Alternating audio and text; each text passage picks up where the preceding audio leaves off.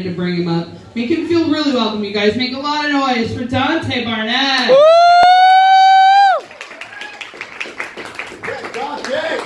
Yo, it's funny. My name's Dante, but it's spelled all fucked up. Uh, it's D U A N T E.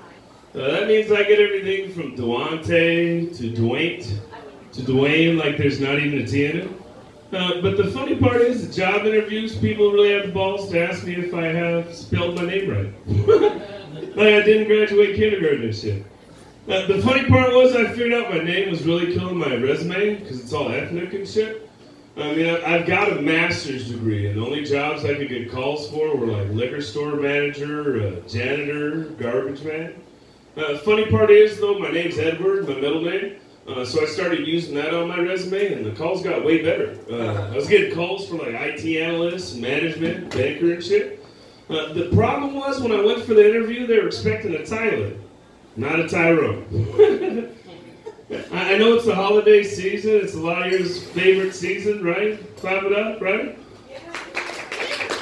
I don't mean the holidays though. It's pumpkin spice latte season, right? Yeah? Any pumpkin spice latte fans? Uh, this time of year, I usually get the same person come to my office. They'll be like, "Oh my god, I know you like pumpkin spice latte," and I have to remind them, I'm only halfway. Anybody in here do their ancestry and me, their 23andMe, any of that? Uh, I did mine. It's really fucking with my personal identity. Uh, this whole time, I thought I was an angry black guy. Uh, come to find out, I'm 60% white. Guess that means I'm angry black guy, uh, angry white guy. Guess I gotta vote Trump next election to get the MAGA hat too, right? Uh, well, I fight stereotypes. I actually used to teach IT, and the first day of class, my students who usually give me a hard time, they'd say shit like, you know, the floor's been swept, uh, the garbage has been taken out.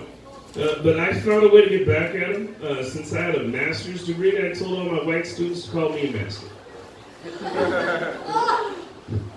And uh, dating's a little different. Uh, now that I'm older, you know, everybody's on Tinder or OkCupid and shit. And uh, being black in this market, you know, it's kind of hard because in five pictures, I got to decide if she'll date a Tyler or Tyrone. and I tried dating a white girl for a while. Uh, that didn't really work out uh, with this attitude. If you can tell every once in a while, I need to be told, nigga, relax. And uh, Becky's not making it through that sentence, if you know what I mean.